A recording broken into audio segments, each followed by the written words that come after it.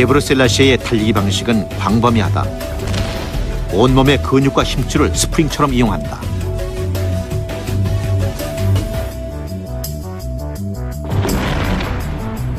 넓적다리를 높이 올려 껑충껑충 달리면서 빠른 속도를 낸다.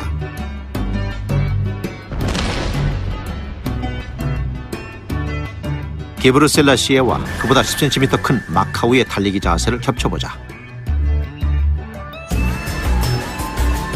게브르셀라시의 보폭이 키가 더 큰 마카오보다 10cm 더 길다.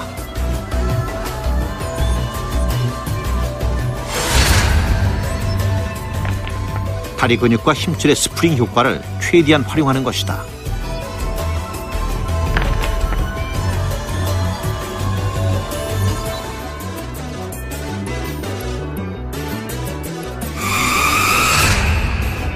어떻게 이런 식으로 42km 이상을 뛰며 피로를 이겨낼 수 있을까?